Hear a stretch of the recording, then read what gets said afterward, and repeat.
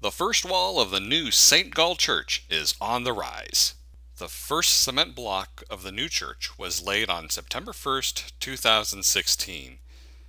This is the first of several load-bearing walls for the church and it is the wall where the new rose window will be located.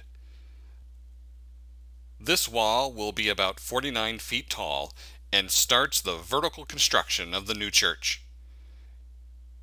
You can already see where four doorways are. These doorways correspond to the doorways on the floor plan.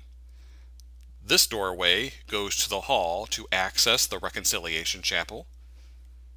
These two doorways go behind the altar to access the new working sacristy, liturgical storage, and the upper level of the ramp.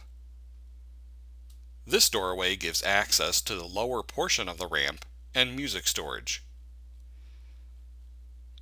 Work on the wall will continue for about a week or so. Mark your calendars for the blessing of the new cornerstone on October 16th with Bishop Malloy. October 16th is also the feast day of St. Gall.